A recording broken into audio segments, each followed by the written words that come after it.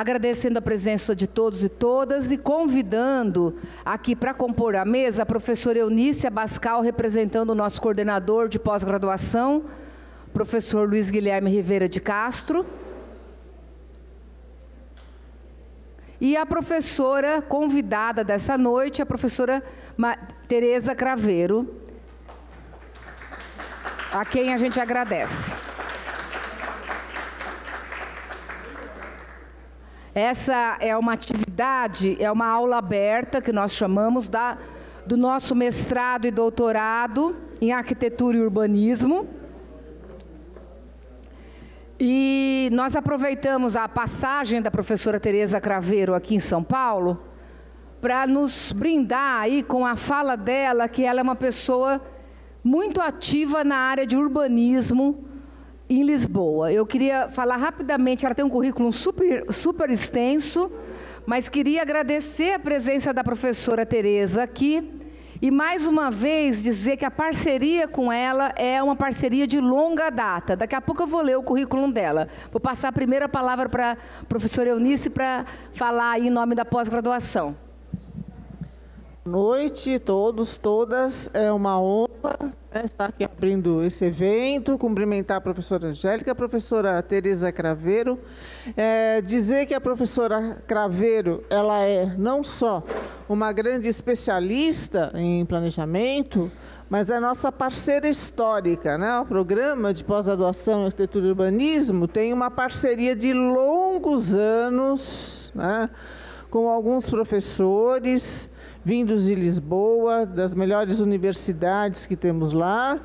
E é, há muitos anos nós fazemos eventos conjuntos com eles, o que muito enriquece a nossa pós-graduação. E tenho certeza que essa palestra será muito bem-vinda, porque os desafios de planejar o espaço né, de uma forma produzida, induzida, né, é, são de todos, de todos os lugares, de todas as escalas, de todas as cidades hoje. Então, professora Tereza Craveiro, muito obrigada pela sua presença e uma boa palestra. queria, é, antes de, de, passar a palavra, Tereza, eu queria falar o seguinte. A Tereza, a gente falou da, da parceria histórica, né? O programa de pós-graduação em arquitetura e urbanismo, ele foi é, aprovado na CAPES nos anos em 2000, né, Luiz Geraldo? E quando ele foi aprovado na CAPES, imediatamente nós fizemos uma parceria com o Instituto Superior Técnico de Lisboa e com a Universidade Lusófona, que a professora Tereza Craveiro é professora lá. É, e foi uma parceria que envolvia a professora Tereza Craveiro, o falecido professor Manuel Leal da Costa Lobo e o professor Fernando Nunes da Silva. E essa parceria, ela também foi motivo de, inclusive, na primeira avaliação que nós tivemos da CAPES, em dois, três anos depois, nós já conseguimos a nota 4. Então, a gente só tem a agradecer a essa parceria de longa data. E a partir também dessa parceria, o professor José Geraldo, que está aqui, ele escreveu um livro que inclusive no dia da aula magna do programa nós distribuímos alguns exemplares, que foi um livro premiado pela Amparc, que é o Urbanismo de Colinas, que é um livro é, que tem vários professores que têm capítulos, inclusive vocês, né, professora Gilda, é, acho que a Nádia, era um grupo, e que, Rig, vários professores, e é um livro que é uma referência na área do urbanismo, da história do urbanismo entre cidades brasileiras e portuguesas, e o entendimento do processo de urbanização destas cidades. Então, acho que a gente tem uma construção muito grande. Esse evento não seria possível se a gente não tivesse tido apoio do, da CAPES ProEx, que é o nossa, nosso programa de excelência. Eu queria agradecer a Comissão ProEx, que apoiou também o programa Agradecer o professor Abílio, o professor Perrone, o professor Caldana, a professora Gilda que, e o professor Renato, que hoje dão aula para as turmas de mestrado e doutorado, que trouxeram os nossos alunos para a aula aberta.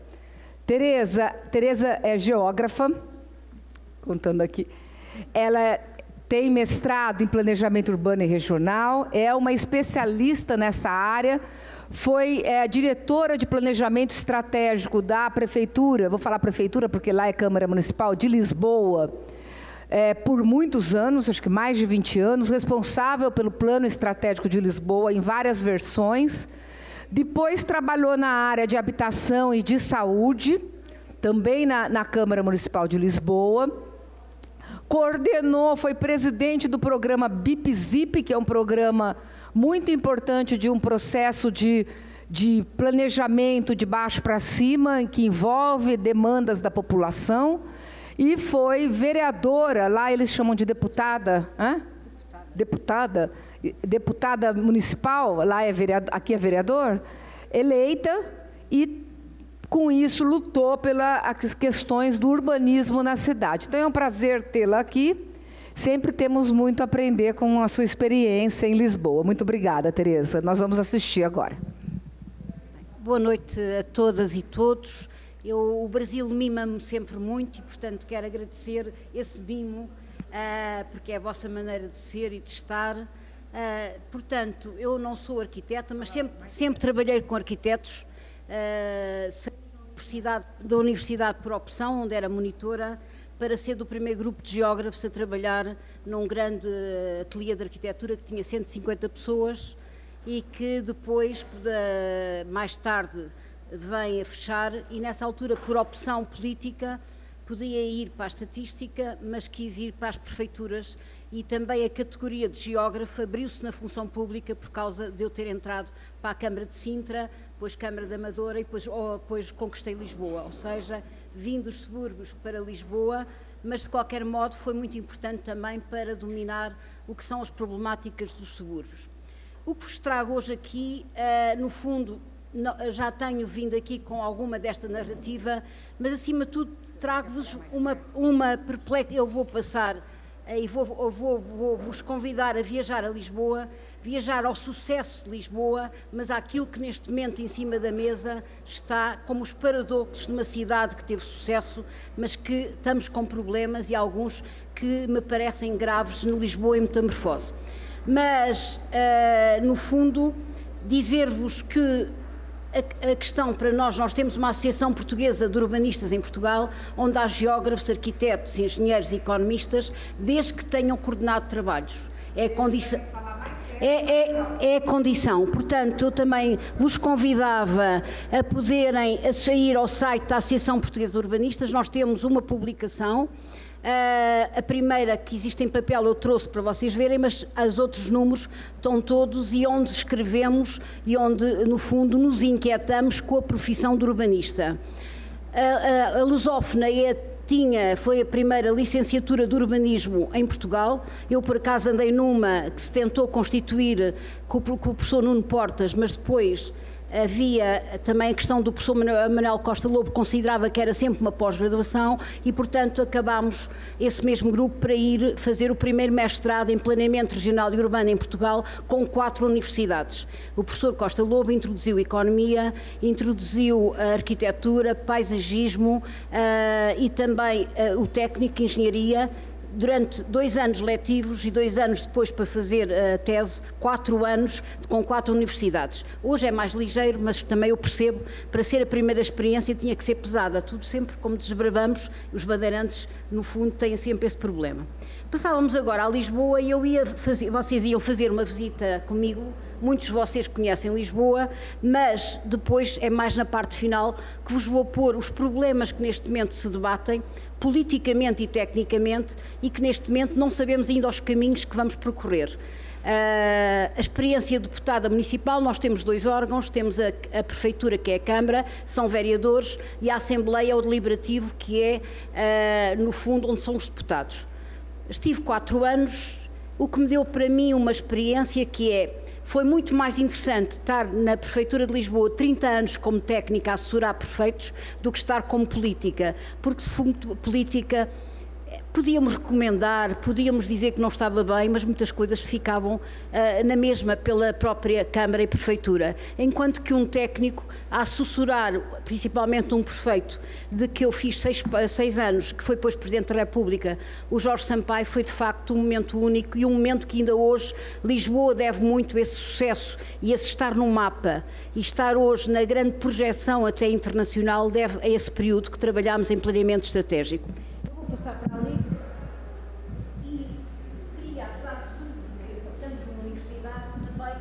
Referenciar uma situação. Há um livro que eu conheço e conheço até bem alguns autores sobre a questão do pensamento único ligado ao planeamento estratégico no tempo que Barcelona e depois algumas cidades tiveram planos estratégicos e que consideravam na altura, aqui no Brasil, que o planeamento estratégico era um planeamento desinserido do urbanismo. Lisboa não teve isso. Como vou mostrar, Lisboa fez o seu planeamento estratégico articulado. É um, é um caso inovador. Ao mesmo tempo, no, uh, três pessoas, eu estava nos planos e projetos, porque nós temos planos de pormenor ou plano de detalhe que vocês não têm, e havia um plano estratégico e um plano diretor altamente articulados durante quatro anos, os três, três pessoas. Portanto, a questão de Lisboa é, é, no fundo, não se dissocia do urbanismo, o que vem provar é que o urbanismo precisa de uma estratégia. Tal e qual, como vos vou mostrar, que quando nós estivemos em Lisboa e recebemos o Conselho Europeu dos Urbanistas, eles vieram rever a Carta a nova Carta de Atenas e dizem isso. Dizem que é fundamental haver estratégia, porque senão há projetos e os projetos soltos e casuísticos não dão com certeza a visão, a visão, a visão da cidade. Portanto, também era esta a tese e a certeza que vos gostava de partilhar convosco, sempre que as prefeituras não têm uma visão global do que pretendem, em que será preparada a tomada de decisão por nós todos que somos urbanistas, de facto o casuísmo não leva com certeza a situações, quando muito, particulares de alguma qualificação, mas não leva à globalização da intervenção. Portanto, para nós é claro, como urbanistas em Portugal, que é preciso trabalhar em estratégia e que nem sempre os planos diretores trazem efetivamente a estratégia, porque o trazem é o enquadramento urbanístico do, da construção. E, portanto, é preciso, de facto, ter primeiro de tudo uma estratégia concertada com os parceiros, com a população e com os stakeholders. E depois passamos então aos vários instrumentos que vão levar à prática as políticas para a cidade. Então, nós íamos viajar pela cidade, mas, portanto, esta primeira explanação que vos quis colocar, até para sabermos o que somos, e é quase uma declaração minha de voto, continuo a achar que é mau não haver planejamento estratégico, exatamente Lisboa está neste momento com problemas graves a partir de 2015 porque não avaliou as políticas e, não, e o planejamento estratégico veio a, a, desocupar o lugar que tinha até, até aí. Porquê? Porque havia vereadores que eram arquitetos e achavam que a estratégia sou eu. E, portanto, a partir daí deixou de haver uma equipa técnica que avaliasse as políticas e que fizesse o monitoramento das mesmas e já vamos ver as consequências disso. Portanto, o Conselho Europeu de Urbanistas, quando fez a revisão da Carta de Atenas, que trouxe a questão da plurifuncionalidade, ou seja, o combate à monofuncionalidade que a primeira carta tinha ligado ao, modernismo, vem dizer que o planeamento estratégico do território e o urbanismo são indispensáveis para garantir um desenvolvimento sustentável, que é hoje o nosso grande desafio, até pelas alterações climáticas, até pela nova revisitação da ecologia.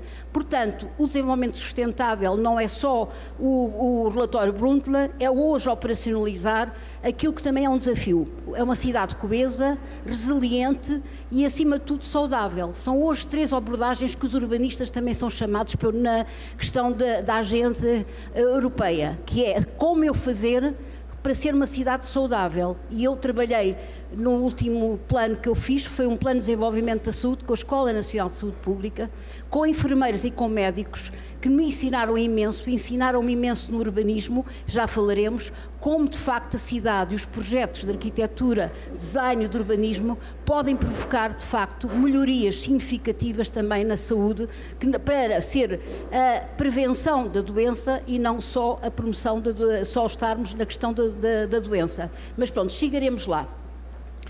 Uh, só para aqueles que, no fundo, não sabem, o planeamento estratégico ele vem de origem militar, mas começa a ser introduzido na década de 70, 80 e vem para Barcelona em 82 e Portugal, Lisboa, em 1990. Mas nós, quando apresentamos, vocês veem que tem Plano Estratégico em 92, PDM em 94 e planos e projetos prioritários feitos logo ao mesmo tempo. Portanto, no fundo não se aplicava a metodologia que o Nuno Portas criticava e bem, que é planos em cascata. Primeiro temos que fazer o plano estratégico, depois fazemos o plano diretor, depois fazemos os planos e projetos. Não. Fazemos tudo ao mesmo tempo e é possível, desde que seja articulado pelos coordenadores. E eu coloquei-me deliberadamente nos planos e projetos prioritários porque queria dar credibilidade ao planeamento, mostrar às populações e às freguesias, que são os vossos distritos, que o planeamento, planejamento, o planeamento tem a ver com o cotidiano das, das populações. É fundamental. E as populações entendem, quando nós discutimos, que tem a ver com o seu cotidiano. E quanto mais o plano, o plano, os planos forem construídos ou discutidos com as populações, mais elas são elas próprias, às vezes, a apresentar os planos. Eu trabalhei na reconversão de um, de um assentamento irregular, ainda antes de estar na, na, na, na Prefeitura de Lisboa, e aquilo que me agradava na parte final eram as populações que apresentavam o plano quando iam estrangeiros visitar ou quando iam alunos e não éramos já nós, porque eles tinham absorvido e tinham, acima de tudo, voltado àquilo que era as suas raízes do tempo rural. Já não construíam em leite cheia, já não construíam em zonas de deslizamento, porque eles sabiam, quando estavam nas aldeias, que não podiam construir aí. Estavam a construir na volta da cidade.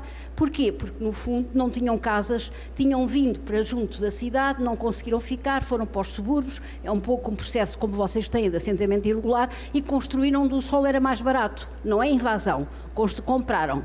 O certo é que não podiam construir em algumas áreas. E era muito interessante ver os próprios que dizer vamos fazer aqui um, um, tornar alguns lotes mais pequenos na zona que não tem problemáticas para de facto tirarmos as casas onde há o leite cheia. E eu acho que isso é aquilo que mais nos agrada e é aquilo que é o nosso objetivo, é quando a própria a população mostra que sabe ser urbanista e que sabe trabalhar com o sistema ecológico. E portanto também dizer-vos que é possível e isso é o desejável. Ora, isto agora leva à questão daquilo que eu há bocado disse. Mesmo uma visão estratégica, de um projeto também tem que ter uma visão estratégica. Eu não faço o projeto porque sim, ou porque é estético, ou porque como equipa gosto. A que serve o projeto quando eu estou a intervir, quer ele seja social, se é para a coesão socio-territorial ou para o territorial. Por exemplo, acompanhámos em determinada altura equipamentos de proximidade, escolas, eh, para fazer uma carta dos equipamentos de proximidade percebemos que em alguns bairros era fundamental haver uma biblioteca, mas a biblioteca não devia de ir para dentro da escola, ela ficava na entrada para poder funcionar à tarde e à noite para a população em redor. Ou seja, num aproveitamento que eu tinha visto isso na Suíça, e a Suíça é rica. Tinha visto que as bibliotecas, em algumas zonas, não ficam, elas funcionam também para a comunidade. E, portanto, desafiámos os arquitetos a pensar a biblioteca com esta situação exterior e não propriamente no interior. Isto é um exemplo de estratégia num projeto, que é o projeto não ficar em si mesmado para aquilo que é o primeiro objetivo, mas também servir na comunidade. Portanto, vou dando estes exemplos para perceberem como às vezes são coisas tão óbvias, mas são coisas que são difíceis, não foram fáceis os arquitetos depois dizerem, mas eu não tinha pensado assim o projeto. Ah, pronto, não tinha pensado, mas o certo é que era uma zona deprimida, com assimetrias socio-urbanísticas e precisávamos da biblioteca também a funcionar. E claro, as parcerias são sempre fundamentais. Pensar que se faz tudo a nível do Estado ou pela Prefeitura, normalmente é um caminho para os elementos não serem apropriados. Portanto, há de facto uma discussão a fazer sempre nestas questões.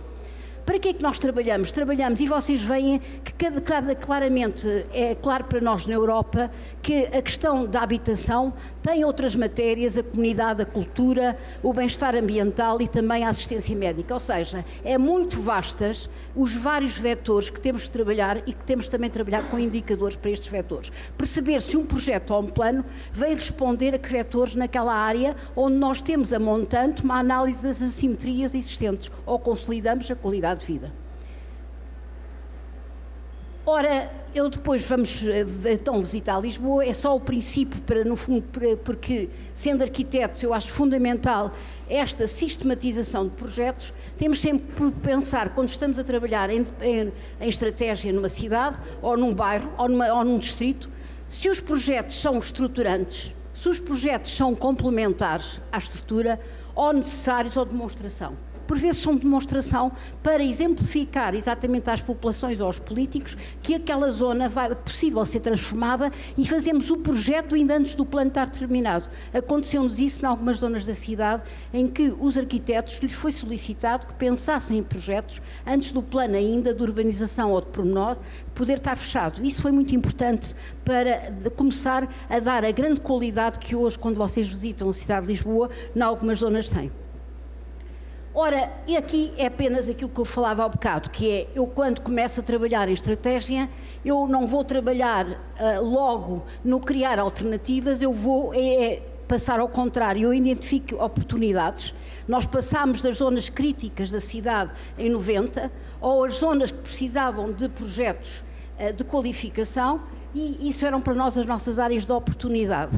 E simultaneamente começámos a articular decisões, a envolver logo os atores, a recolher a informação, promover a, a, comunicação e depois é que vêm as alternativas. Isto é um, uma parte de um, de um, livro importante que é do Goel, uh, de Barcelona, sobre plane, planejamento estratégico que nós trabalhámos. Barcelona vinha trabalhar com Lisboa e nós trabalhávamos também na altura com, com, com Barcelona.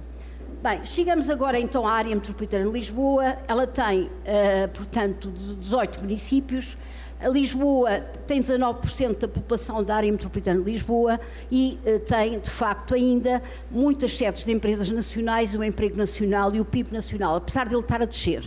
E a pandemia trouxe-nos mais elementos agora de perplexidade e de grandes mudanças que neste momento ainda estamos a avaliar e que depois eu mostrarei no final uh, na cidade e, então, e até em Portugal.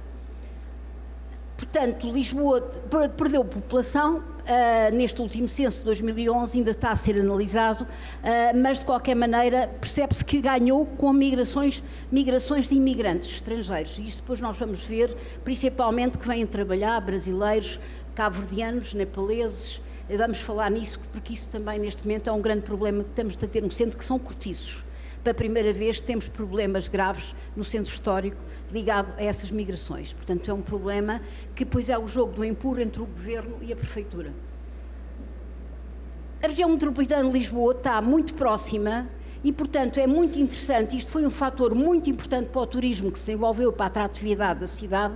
Eu, no mesmo dia, posso ir à Zona Atlântica, que é a zona de Irceira e Sintra, e no mesmo dia posso ir à Rábida, que é o Mediterrâneo, com o calcário e com o garrigo francês. Portanto, ou seja, esta atratividade vai levar em que Lisboa, durante quatro anos, ganha os prémios do melhor destino de fim de semana. Porque, de facto, num fim de semana e mais, há 30 anos nós que dizíamos isto, ainda não havia ónibus para poder fazer estes circuitos, ir à Rábida no fim de semana ou ir ao outro lado. Hoje em dia há. Portanto, hoje em dia podem tomar um moscatel na margem sul e ir à zona, de facto, do nosso Mediterrâneo, mas podem simultaneamente ir comer pastéis da Piriquita à Sintra e ir a ver o mar, o mar Atlântico e forte na Erceira. Portanto, isto leva a que há, de facto, uma atratividade do turismo e vamos ver as consequências disso, porque esta descoberta fez-se e principalmente na última década foi a década da grande descoberta de jovens e toda uma forma de turismo. Diga.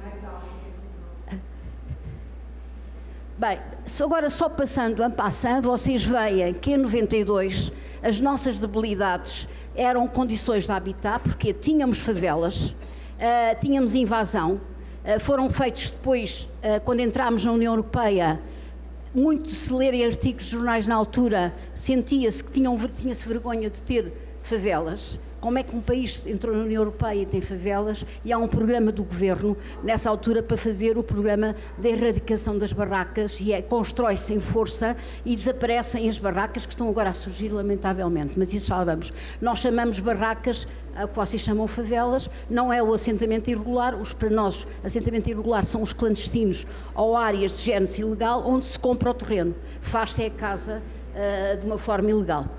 E tínhamos a decadência do sistema industrial, como todas as cidades da Europa, ou seja, estávamos nos anos 90 e tínhamos áreas obsoletas industriais. Eu ainda agora tive. Uh, em Porto Alegre, no, no, distrito criativo, que é no, no, quarto distrito, e era exatamente o que nós temos, que é galpões e antigas fábricas completamente obsoletas a tentarem transformar-se com indústrias criativas e que nós tínhamos, e algumas até estão agora também a alterar-se para a habitação, no nosso caso, que é na Zona Oriental e Alcântara.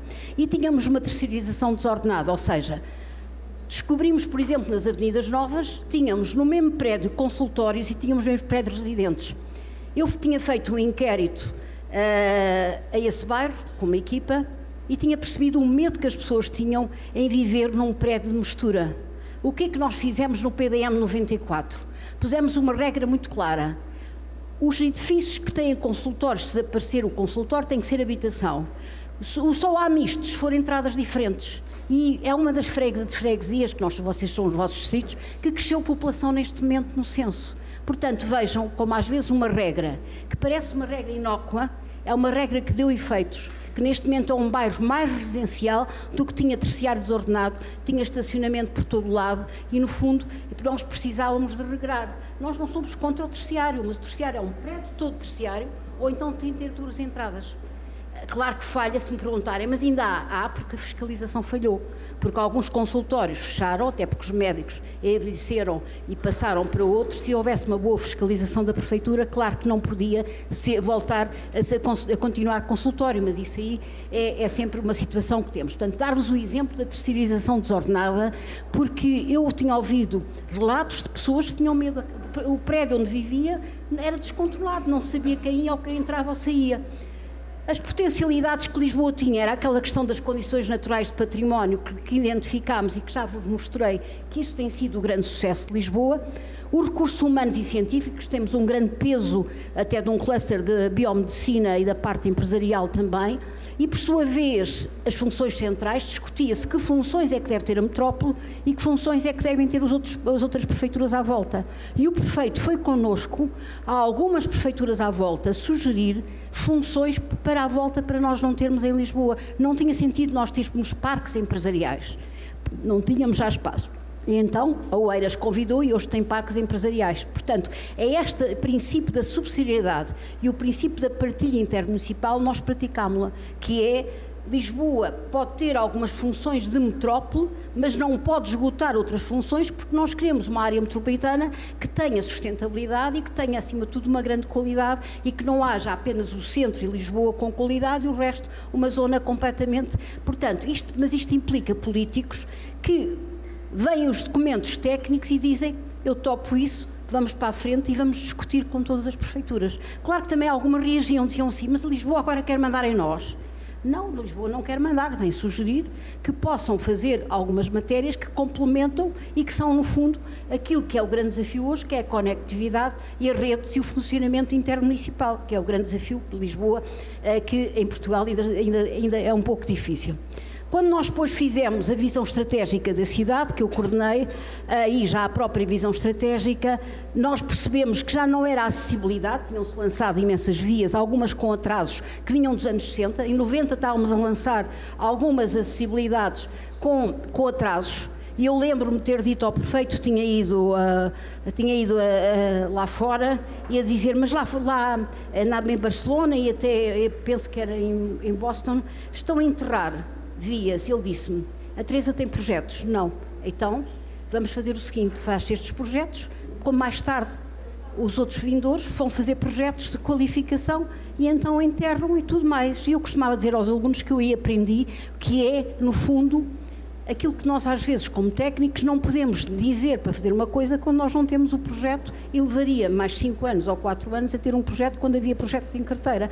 Portanto, o que há é consciência que nós estamos a fazer projetos que podem não ser o melhor, e que eles vão ficar e depois vão se discutir e vão se avaliar e pode haver mais tempo, mais tarde, toda uma nova comunidade e sociedade que vai exigir melhor qualificação. Portanto, também é preciso aqui, como eu dizia, nós trabalhamos com utopia realizável, não, não trabalhamos com utopia ampla. É o que eu posso fazer e quanto posso fazer e quanto custa. E, portanto, isto é fundamental para que as ações sejam ações que, de facto, têm algum sucesso. E outra coisa que nós já tínhamos em 2002 era o despovoamento dos núcleos históricos. Ou seja, eh, havia muitos fogos ociosos, como vocês chamam, nós chamamos, chamamos de fogos de volutos, vocês chamam ociosos aos alojamentos, vocês vão ver é um número brutal que nós ainda continuamos a ter.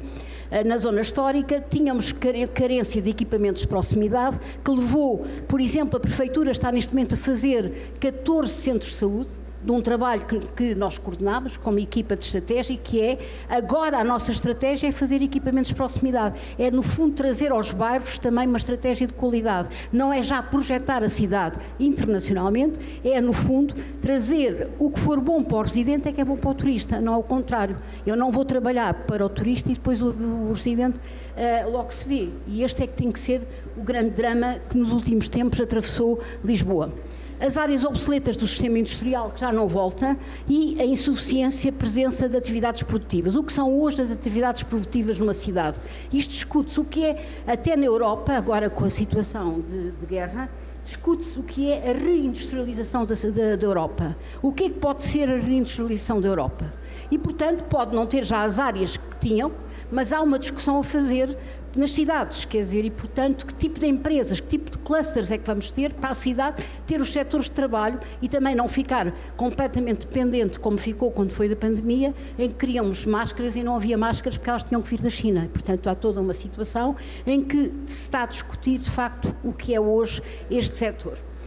As potencialidades continuam a ser a questão patrimonial e natural, porque não muda, os recursos humanos e científicos não mudam ainda bem e esta localização atlântica mediterrânea que nós começámos por falar. Uh, e depois também a conectividade e inserção de redes supranacionais que nós fomos construir com a Europa e com, de facto, temos que responder quando recebemos dinheiros, como agora estamos a receber uma grande quantia de dinheiro negociada por causa da pandemia, nós temos linhas programáticas discutidas com, com, a Europa que teve que aceitar que os dinheiros vão ser gastos com determinadas linhas e, portanto, há esses investimentos a fazer. Ora, eh, o primeiro plano estratégico depois vai dar origem ao plano diretor, o de 94, traz uma cidade atrativa para viver e trabalhar, a questão das cidades ibéricas, o que é que é capital, o que é que são os equipamentos que a capital precisa. Por exemplo, os que apareceram na Expo, quando vocês visitam a Expo, eles foram ligados a esta visão. Eu precisamos de um aquário, precisamos de várias matérias que eles sirvam para toda a metrópole, para toda a área metropolitana e não só para Lisboa. Portanto, no fundo, foi discutido que funções é que nós precisávamos colocar na capital de uma área metropolitana, que são de metrópole, e essas funções centrais que são necessárias. Há uma geógrafa a Bujugarnia que diz que quando não há funções de proximidade e centrais, eu não tenho uma cidade, tenho um facto urbano. Portanto, eu quando estou a trabalhar numa cidade ou bairros suburbanos, a obrigação que eu tenho que introduzir é, de facto, equipamentos que deem a qualificação de passar do facto urbano para urbano. Portanto, isso é claro. Senão, estamos, podemos estar a construir habitação, podemos estar a construir um ou outro equipamento, mas não temos, e depois acabaremos nisso. O grande desafio da cidade de 15 minutos tem a ver com isto, tem a ver em que eu tenho que apetrechar o bairro com toda a questão de equipamentos de proximidade e qualidade. E, portanto, isso é fundamental hoje e não como se fez muitos anos, nos anos 70, 80, que era um bairro tinha uma coisa, o bairro tinha outra e, portanto, no fundo, levava às migrações pendulares e estarmos pendurados no automóvel. Nós sabemos hoje que há desafios novos, principalmente, eh, por exemplo, eh, gravíssimos, que é as ondas de calor em Lisboa, por exemplo, e as cheias. Nós tivemos numa semana duas cheias de, de, de quantitativo de 100 anos. Dois, dia, dois dias, um dia numa, numa, semana e outro dia na outra, com os, com os vales completamente inundados, os restaurantes, as casas, e morreu, nomeadamente, uma senhora numa cave. Vão ver, portanto, nós estávamos em 2002 e, como já tínhamos projetado a cidade no outro plano estratégico, aqui fomos para a cidade de bairros. Considerámos que a cidade precisava de se qualificar dentro destas linhas que vos estou a dizer e, portanto, nesta linha que é agora chegou a altura da cidade, que já está projetada, que já tem os equipamentos de metrópole delineados em 98, nós agora vamos, de facto, dar qualidade e coesão socioterritorial aos bairros. E, portanto, esta foi uma matéria onde trabalhámos e depois vou-vos mostrar o que nós fizemos. A cidade de empreendedores, que é aquela questão da resposta à reindustrialização, ao empreendedorismo na cidade, as cidades têm que ter também setores de empreendedorismo. Hoje em dia há hubs, nomeadamente, que se estão agora a criar. A cidade de culturas, no fundo, tirar partido da cidade que tem, é intercultural, é cidade que, se vocês forem para o Oeste Almirante Sete Reis, Moraria, sentem que é outra cidade do que a cidade da Avenida da Liberdade ou Avenida da República, mas vamos tirar partido disso como uma coisa boa e não alguma vez como uma coisa má. E, portanto, no fundo, essa interculturalidade ela tem que ser focalizada em feiras, em elementos de facto e que às vezes os bares de intervenção prioritária trazem, que festivais. Há um festival que foi criado ligado a esta matéria, que era o Todos, onde há uma mobilização anual nos bairros naquilo que é as suas diferenças. E, portanto, com teatro, com música, com comida, gastronomia cabo-verdiana, outra gastronomia. Portanto, é essa questão da cidade de culturas. E a cidade de modernidade e inovação, que já falámos aqui. E depois chegámos a 2010, 2020, 2010, precisávamos de rever o plano diretor municipal. E agora a nossa legislação já diz que é obrigatório os planos diretores terem estratégia lá dentro. Não, não é preciso fazer um plano estratégico separado, pode ser um bom, um, um, bom trabalho feito, mas tem que lá estar dentro. E, portanto, nós, na altura, chamámos vários especialistas, a, coordenar, a minha equipa coordenou esses vários especialistas com várias perguntas, que é, no fundo, o que se pretendia da cidade em 2010. E precisava-se de reequilibrar a cidade, trazer população para dentro da cidade e jovens, fundamentalmente, porque estávamos com uma população muito envelhecida, a regeneração urbana alargando o conceito a toda a cidade consolidada, não é só o núcleo histórico, porque também para nós, eh, edifícios dos anos 60 ou 70, eles também precisam de ser reabilitados, nomeadamente a cidade amigável, segura, inclusiva, com todos os, os modos suaves da cidade, pistas cicláveis e um plano de pedestres que eu já vos vou mostrar, que tem sido muito fundamental para cruzar em distritos que temos população envelhecida, substituir um pouco da calçada à portuguesa, se deu alguma controvérsia, mas é uma calçada que não tem desenhos, por alguns pavimentos mais amigáveis para uh, haver aquela questão de andar os, os passos para a cidade saudável e levar que os idosos possam sair das suas casas e de facto possam andar e possam, no fundo, eh, ter um contributo para a cidade saudável, essa questão do plano de pedestres. Eh, até a questão do sol também. Por exemplo, eh, está provado quando eu trabalhei no plano de saúde, percebeu-se que os nórdicos têm mais vitamina D do que temos nós, porque nós não, não, aproveitamos o sol, apesar de termos uma insolação, temos imensos dias de solar, mas não aproveitamos, ou quando saímos, saímos logo com protetor solar. Portanto, até às 10 horas poderão sair sem ser com proteção solar. O que temos é que verificar em que zonas é que devem sair. E, portanto, fizemos um trabalho de cruzamento, quais as zonas de pedestres onde podiam sair para ter exatamente esta situação. Portanto, estão a ver como a cidade é saudável, em vez de ser apenas plantas e plantas que se faz no plano diretor, porque tem que se fazer, são plantas que vão ter objetivos para serem trabalhados depois e operacionalizados. E, portanto, isso é que é fundamental, uh, no fundo, quando trabalhamos num planejamento que queremos que seja ativo e que ele venha responder a objetivos. A identidade de Lisboa é o ponto de vista patrimonial e da zona ribeirinha e depois a questão eficiente. O nosso plano diretor ganhou um prémio de Isocarp em 2012, 2013 e trouxe todos estes objetivos lá dentro. Posso-vos dizer que o primeiro nós falhamos. Não conseguimos rejuvenescer a cidade, nem conseguimos equilibrar socialmente a população. E vamos ver depois porquê. Vamos ver que a cedência à pressão turística, o deslumbramento do sucesso de Lisboa, da procura dos fundos imobiliários, dos vistos gold e do Airbnb, que se chama alojamento local, leva que neste momento o governo vai proibir tudo isso. Portanto, vai deixar de haver vistos gold em Portugal, vai deixar de haver na cidade nas cidades até 2030, os que estão abertos podem ser alojamento local, mas serão avaliados e não pode haver mais. Portanto, é uma discussão fortíssima que está a haver na cidade e é o próprio Estado a determinar isso, porque neste momento não há habitação para jovens, os preços são brutais e, portanto, de facto, os últimos cinco anos foram cinco anos que resvalou-se para aquilo que foi um setor altamente especulativo, a cidade, e a cidade é procurada a franceses, também brasileiros, claro, também brasileiros, uh, não só os com trabalhar, os outros brasileiros também. Descobriram que temos bom vinho, que estamos ali, é uma plataforma para ir para o resto da Europa e, portanto, uh, e que já não é terrinha. Portanto, muitas vezes é isso que dizem, já não é terrinha. E, portanto, isto só para dizer que, de facto, isto vem mostrar uma coisa que para mim era óbvia desde 2016 ou 2017, gritei muito, mas consegui pouco, que era o monitoramento do que estava a acontecer nos bairros. Porque o revelar, mas só se falava na cidade global. A cidade era global, era fantástica ser a cidade global. E agora descobre-se que os jovens não têm, uh, há casais que estão separados vivem na mesma casa porque não conseguem arranjar uma alternativa. Há há, os nossos jovens são os que saem mais tarde das casas dos pais e, portanto, toda uma situação em que quem está no mercado está lá, para entrar no mercado do arrendamento ou da habitação não se entra portanto, leva a que neste momento há quase até uma paródia. Parece que o nosso governo radicalizou, acham que já é o primeiro-ministro até cubano, porque, nomeadamente, está em cima da mesa forçar que os ociosos possam ser postos no mercado. Há uma carta que se vai escrever a todos os proprietários que têm fogos, têm alojamento ocioso, e se não, se não puserem no mercado, uh, o, o, o Estado e depois dá o dinheiro ao proprietário. Esta é a grande discussão neste momento e ninguém se entende e, no fundo, está numa margem política que é chamarem nomes uns aos outros, uh, mas é o arrendamento coercivo. Vejam a situação que se levou.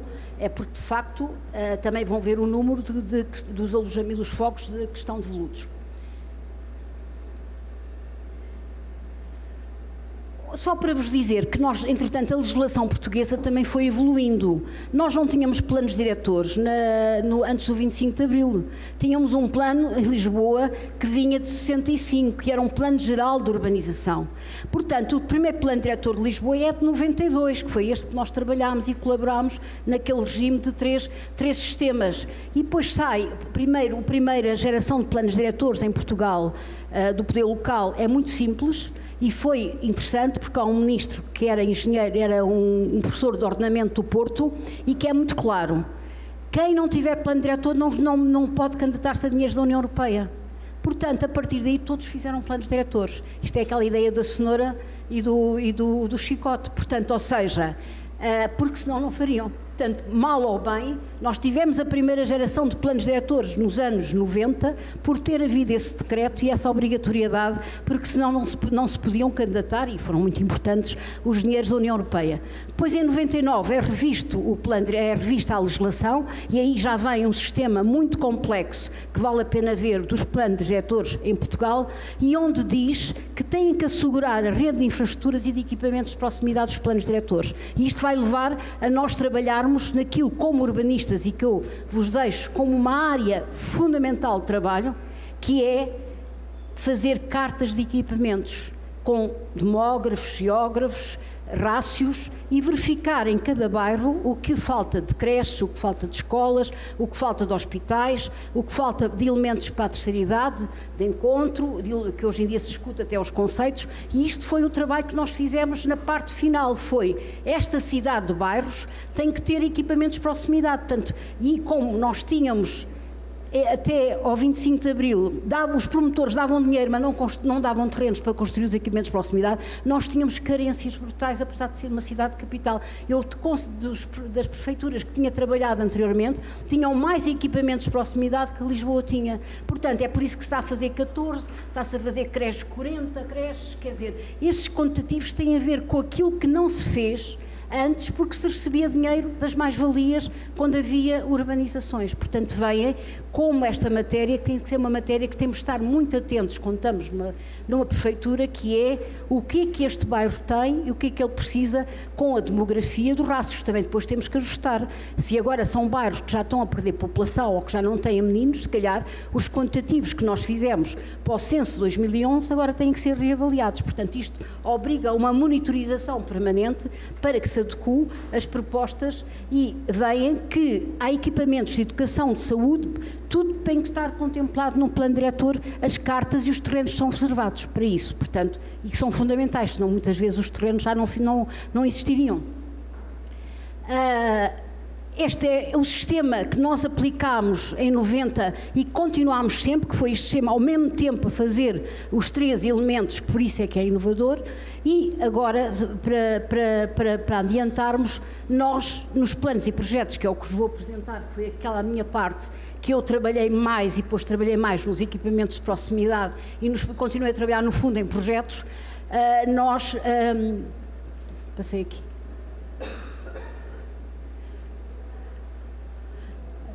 Desculpem lá que eu passei.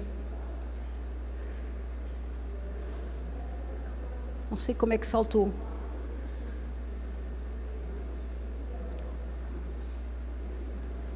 Este, este é para a frente, não é?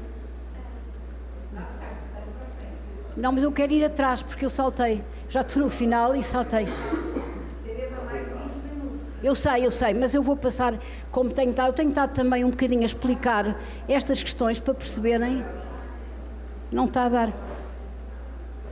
Não, ele ficou encravado aqui. Ficou encravado. Não sei. Está encravado.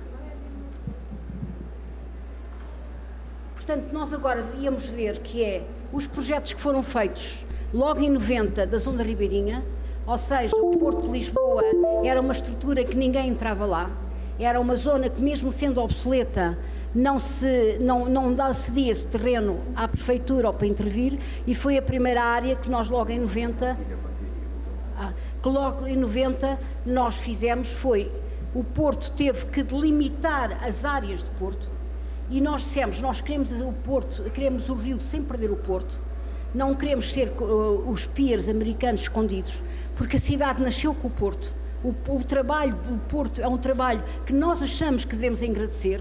Era muito estranho que nós, em urbanismo, fôssemos aparecer postos de emprego, quer dizer, porque isso era uma controvérsia que a Associação, a Ordem dos Arquitetos queria desaparecer o Porto completamente para projetos de arquitetura. Não estou a dizer mal, mas até houve uma publicação de muitos projetos que eles fizeram.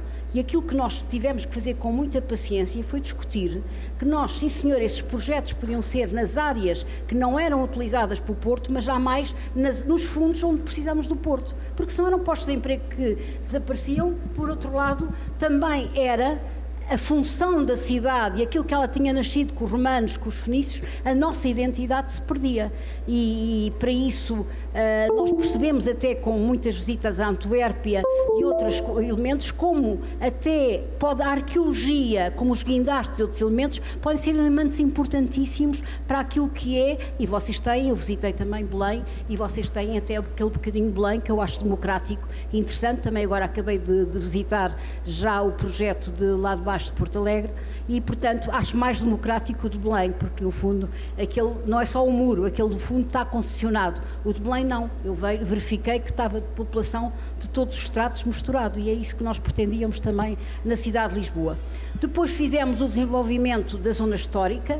Uh, no fundo, reabilitar a zona histórica e uh, não só a moraria, e aí o prefeito foi viver, foi trabalhar para a moraria, deixou a prefeitura não só para os atos oficiais, para que a moradia, que era um lugar de prostituição, droga e muito complicado, pudesse ser um elemento mais credível e fez todo um projeto integrado e uh, os bairros históricos começaram a ter muitas políticas sobre uh, até de fiscalidade para poder reabilitar.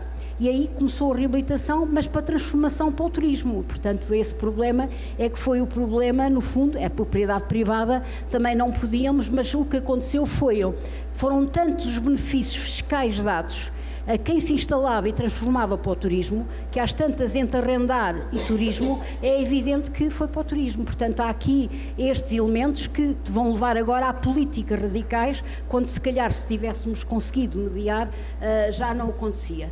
Depois temos também ainda assentamentos irregulares na Croa periférica e aí também fizemos a reconversão de alguns bairros uh, de assentamentos irregulares, mas nós não temos muito. Lá que travou no pé Ah, foi?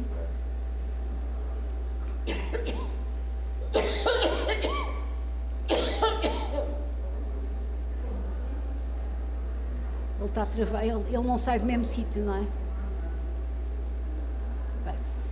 Qualquer modo, eu vou fazer essas coisas, já vos disse, vou só mostrar-vos o que nós no fundo, estes são os assentamentos irregulares que nós temos, são pequenos comparados com as coroas de outras prefeituras uh, da área metropolitana onde temos prédios de altura. Aqui são, são a, primeira, primeiro, a primeira coroa de assentamentos irregulares dos anos 50 e que nós estamos agora a fazer conversão com os proprietários. Eles vão pagar as mais-valias e vão pagar, nomeadamente, todo o trabalho de esgotos e água uh, naquelas casas que forem para recuperar e uh, também, como é uma zona que tem vários outros problemas, fizemos uma área de reabilitação urbana que é um plano pormenor, um, que nós vocês não têm, no fundo, dando esta, esta ligação e uh, os próprios bairros sociais, que são as favelas que há bocado vos disse, em que nós, de facto, construímos 17 mil uh, fogos, alojamentos, para retirar todas as favelas que nós tínhamos em Lisboa. Portanto, foi um grande programa com dinheiros uh, do Estado Central para desaparecer. O programa local de habitação que efetuámos eu, quando fui convidada para esta área, eu disse que só o fazia, levando estratégia e levando urbanismo, se me permitissem fazer o habitat. Ou seja, equipamentos de proximidade. Eu não queria realojamento. Isso acho é quase como voltarmos ao tempo do Engels ou da primeira revolução, que é, no fundo, o mínimo dos mínimos. Foi aceite e todas as cartas de equipamentos que até aí não se tinham conseguido politicamente aprovar, elas foram todas aprovadas em 2009. Estas cartas que vos estou a dizer, equipamentos de saúde, equipamentos de creche, desportivo, de escolas ligadas a este programa local de habitação. Isto também era para vos dizer, aos que são, enfim, mais jovens, que ainda estão a trabalhar ou querem trabalhar em prefeituras, nunca desistam, porque é possível. O não também não leva a nada, quer dizer, se me disserem não, tudo bem, eu costumo dizer que nós somos caixeiros viajantes, compramos e vendemos ideias. E, portanto, o professor Costa Lobo dizia, ó oh, oh, Teresa, sempre que tiver uma coisa que ganhou, diga a todos nós urbanistas e vamos todos tomar um copo, um vinho. Porque, tem, porque temos que ter esta ideia de lidar com a frustração. Portanto, eu nas primeiras aulas dava sempre esta questão aos jovens. Estão preparados para lidar com a frustração, não vão ficar deprimidos, mas não vão desistir e verificar, acima de tudo, uma nesga de oportunidade. Porque às vezes há um político que até que topa. Então vamos. E aqui foi a, a, a, a, secretária da Habitação que, no fundo, queria fazer pela primeira vez o Programa Local de Habitação quando, exigiu, quando, quando uh, veio a legislação e eu disse, sim, eu faço. Também tinha sido minha colega no liceu, portanto tinha alguma confiança. Sim, eu faço contigo, mas então vamos tirar habitat. Deixou e o certo é que os equipamentos foram todos depois aprovados e hoje estamos a fazer isso. Uh, cá está os equipamentos de saúde. Os centros de saúde primeiro foram o Estado a fazer seis, hoje estamos a fazer nós 14, porque senão o Estado nunca mais fazia. A carta desportiva, as creches, deem os centros de saúde que estão a aparecer e o plano de acessibilidade pedonal, que vocês dizem de pedestres, que foi feito e que neste momento eh, já dá zonas onde se anda muito mais a pé e onde de facto houve este resgate de andar a pé e dos passeios com uma controvérsia imensa, mas a calçada à portuguesa, em algumas áreas, era apenas a pedra de calcário, não tinha preto em branco, nem tinha desenhos. Portanto, é preciso aqui também que a identidade e o património não seja uma ficção, porque isso era ficção. Portanto, esta questão de, de andar, os idosos têm que andar pelo menos 30 minutos e a questão da cidade saudável.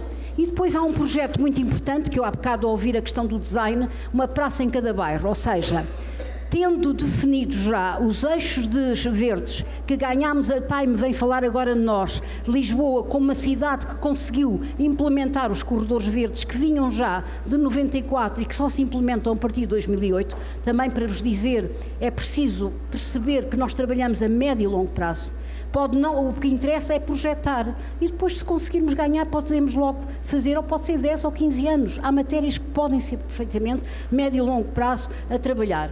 E, portanto, além disso, considerou-se que cada bairro precisava de uma praça como lugar de civitas, como lugar de encontro e fizeram-se praças e uh, designer e a única coisa que eu não consegui com pena minha, eu estava a fazer um plano para a Unicef na altura para crianças e, nomeadamente, consegui que alguns dos meus colaboradores fossem fazer uma formação como participar com as crianças e era para as crianças discutirem a praça. Uh, eu depois saí, entretanto, e não consegui, mas o certo é que Lá fora, muitas vezes na Europa, a praça é discutida também com a criança e uma das coisas que nós já tínhamos era que eles queriam charcos, eles queriam molhar os pés. E, portanto, às vezes nem é preciso grandes equipamentos. É, no fundo, porque tínhamos visto com a Expo que era muito importante, vão com galochas e gostam imenso de molhar os pés. Portanto, isto para dizer, também deixar aqui aos arquitetos que às vezes não é preciso um pormenor ou um grande elemento, ouvir também a criança, o que é que ela quer do seu espaço e do seu encontro. Uh, portanto, são um exemplo de praças que apareceram e chegamos agora ao alojamento local, ao NRB, e vocês veem, eu tenho aqui um quantitativo que eu tirei, uh, no princípio de, desta década tínhamos poucos, temos neste momento 25 mil uh, identificados em 2017. isto para dizer que, estão a ver o que aconteceu aos nossos bairros históricos por um lado reabilitaram, por um lado requalificou-se. O problema é que alguns foram feitos expulsando a população, porque a lei que tinha surgido entretanto do Estado dizia que desde que fosse para reabilitar podiam sair e não tinham que voltar e portanto alguns saíram e não voltaram. Há ruas inteiras no Barreiro, que é uma prefeitura do Sul, de pessoas que saíram da Alfama, expulsas, uh, idosos, e por sua vez, uh, no fundo, é estes bairros perderam características. Ou seja, eu posso ir à Alfama ou posso ir uh, ao bairro Alto, mas eu não encontro ali muitos residentes. O que eu encontro é estas é, pessoas que vêm efêmeros ou nómadas digitais que estão hoje e não estão amanhã. Portanto, eu não posso privilegiar a transformação da identidade de Lisboa por uma questão que é só a reabilitação do edificado. E é este balanço que Lisboa não soube fazer a partir de 2015, quando se começou a ser esta transformação tão grande. Vocês veem aqui a evolução do, do, do registro dos elementos, teve um impacto muito grande na economia. Nós tínhamos tido um problema grave de crise económica em 2008, 2012. Quando começámos a ter este sucesso, eu percebo também que os políticos achavam que era a galinha dos ovos de ouro, como nós achávamos e uh, grandes investimentos imobiliários nacionais e estrangeiros. Hoje são fundos imobiliários que vão deixar de ser, que não pagavam impostos os, os, os, vistos gold, que se pensa que é branqueamentos também, porque é gente que aplica, tinha a cidadania europeia não vivendo, muitos chineses e até russos, neste, até russos, e portanto isto tudo neste momento está em causa e o governo que tem maioria absoluta e que vai lá estar mais quatro anos, eu estou convencida que a proibição vai mesmo para a frente, não há apelo nem agravo e vem que foi onde perdemos população, perdemos muita população no casco histórico por causa de toda esta transformação turística que se efetuou. Portanto, eh, esta planta fila até fiz de propósito para aqui, mas eh, porque ainda não está, o censo é 2021, ainda não está tudo trabalhado. Aliás, se vocês forem ao site da, da Prefeitura, há um trabalho que eu coordenei em 2017, até a professora Lúcia Bogos também colaborou comigo, que é o Atlas Social e de Habitação, que é o censo todo de 2011. Não está atualizado agora para o censo de 2012. Portanto, nós temos aqui, ao quarteirão, todo o cruzamento de várias matérias, desde envelhecimento, uh, uh, os alojamentos que não têm, os focos que não têm casas de banho, todo o material neste Atlas Social, se vocês puserem, têm e que eu tinha visto nos cadernos uh, aqui no Brasil, depois convidei a professora Lúcia e ela foi colaborando connosco e, e, e com uma equipa também com o Centro de Geografia e fizemos este Atlas Social Habitação.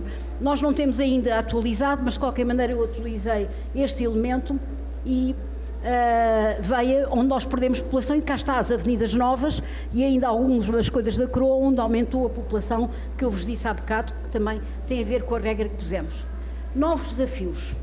E chegávamos agora aos novos desafios. Eu depois, se houver algum tempo, ainda vos mostro umas coisas bonitas da Zona Ribeirinha, mas ali uh, a senhora professora não, não está a deixar. Uh, os novos desafios, que é isso que no fundo me interessava discutir. Já eu estava cá, tinha uh, isto cabe no centro de Lisboa, usada para rede de tráfico de pessoas, albergam cerca de 4 mil imigrantes. Não é só, dão um nome, dão uma morada, descobri-se que dão uma morada, não vivem lá. Mas o certo é que houve, há um mês, um incêndio onde morreram pessoas na moraria. Portanto, e descobriram que estavam 20 pessoas em Camarata num, num, num alojamento. Eh, portanto, é esta a realidade que outro dia eu sou conselheira agora da Carta Municipal de, de Habitação e outro dia eu acho que é um mínimo fazer um mapa de mancha onde é que existirão e a, e a nova uh, secretária responde, mas isso é do Estado. Não, não é do Estado, não, não é depois quando acontece uh, as questões de, de, de, incêndios, então parece que se descobre este problema, que no fundo eu pus o nome de cortiços porque é, uh, é outra coisa, é a Câmara de Lisboa que quer reduzir rácios entre alojamento local e imóveis. Estávamos a trabalhar desde 2017 e já foi por parte da Assembleia Municipal, exigimos avaliar, mas agora se o Governo proibir, já não há avaliação nenhuma, não há mais nenhuma, nenhuma possibilidade. Claro que neste momento, os últimos 15 dias, o imobiliário está a cair, os preços do imobiliário, e portanto há já todo um mercado a reagir a esta situação de que está uh, as políticas nacionais sobre esta matéria. Uh, isto era o que foi aprovado em novembro de 2009, que já era nas zonas que eram as que estavam com mais, já não era, foi começou a ser proibido e já não se deixava se não licenciar nas outras, nos outros distritos. Mas nem isto vai acontecer, a suspensão nas freguesias, vocês veem, e uh, dizer-vos que nós temos uma, a nossa Constituição é muito clara para os urbanistas, que é não é só habitação, mas cabe também programar, inserida em planos de ordenamento geral, apoiados em garante a existência de uma rede adequada de transportes e equipamentos. Portanto, não pode haver pacotes monofuncionais apenas de fazer realojamento. Uh, não, não, não cabe a mim criticar aquele programa Minha Casa Minha Vida, mas aqui há uns anos fui ver vários sítios e pareceu-me que não havia equipamentos, era uma parte muito lançada e limítrofe, como em São Carlos, era muito limítrofe de próprios locais, quer dizer, ou seja, é preciso perceber uma malha onde de facto há um lugar de encontro, onde as crianças podem ficar, para as mães, todos esses elementos. Não basta fazer só o realojamento pelo realojamento, no meu ponto de vista. E agora há uma nova lei de bases da habitação e uh, é a Carta Municipal de Habitação que todas as prefeituras são obrigadas a fazer, onde identificam estes problemas e uh, que tem este conteúdo, é uma, é, está bem feito, vale a pena ver, porque foi nomeadamente uma arquiteta deputada que trabalhou nisso e, e, na altura eu trabalhei neste conceito lá na Assembleia da República sobre o habitat. Portanto, tem aqui, no fundo, todo um modelo de abordagem de como a habitação e o habitat têm que estar ligadas naquilo e também fala do sem-teto. Portanto, vale a, pena, vale a pena vocês lerem e verem esta legislação que me parece bastante importante e que foi um salto muito grande na discussão. Todas as prefeituras estão agora a fazer este instrumento que depois vai ter que ser vertido no plano diretor municipal quando o plano diretor municipal for revisto. Mas nós não esperamos, fazemos o instrumento e depois quando vier a revisão do plano diretor encaixa. Quer dizer, não há, como dizia o, o, o Portas, em crítica, não aos planos em cascata. Trabalha-se em tabuleiros ao mesmo tempo. Essa é que é a grande saída, porque senão os problemas passam ao lado. E uh, a Carta Municipal de Habitação que está neste momento a Prefeitura a fazer uh, tem estes objetivos e, só para vos passar, vejam quantos fogos vagos que nós chamamos vagos ou devolutos, vocês chamam ociosos, temos na cidade de Lisboa 47.748. Vejam, no fundo, também se discutir que é fazermos fazer habitação pública quando está tanta habitação privada fechada. Portanto, esta é a discussão. Uh, e, eh, por outro lado, nós temos uma característica que é quase 50% dos residentes têm casa própria e só 50% é que têm de arrendamento. Portanto, estamos aqui com um problema que é como mudar esta, esta realidade a, a fazer-se. Aqui também tínhamos muitas casas que estavam espalhadas e que também nós próprios tínhamos como prefeitura, também não estavam habitadas e que neste momento estão a ser trabalhadas e veem o que foi a queda do rendimento para a queda da questão da renda. Esta é a realidade de Lisboa. Ou seja, a, a renda, a renda das casas subiu estes valores, enquanto que os rendimentos uh, baixaram significativamente. Portanto, esta decalagem leva à grande, à grande problemática que já levou alguns autores a dizer Lisboa em metamorfose, quer dizer, ou seja, é preciso, é, estamos num processo de transição e é preciso reunirmos e discutirmos muito entre universidades e profissionais o que fazer a esta situação.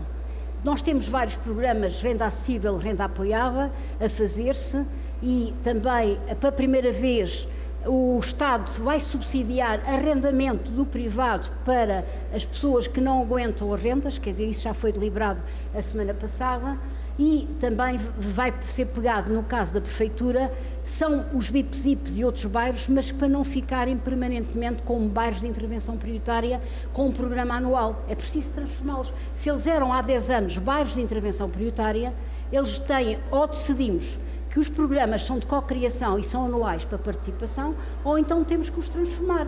E temos que perceber o que é que lhes falta a esses bairros, por isso é que, e bem, chamou a, a vereadora, a secretária, chamou regenerar a cidade esquecida, o que é que falta a esses bairros para que eles sejam, deixem de ser bairros de intervenção prioritária. Portanto, esse é o desafio que se está agora a construir. Ela constituiu um Conselho Municipal de Habitação, estou lá a representar a Associação Portuguesa de Urbanistas, estão os arquitetos, estão os bairros a representar e, portanto, estamos um pouco a construir estas soluções.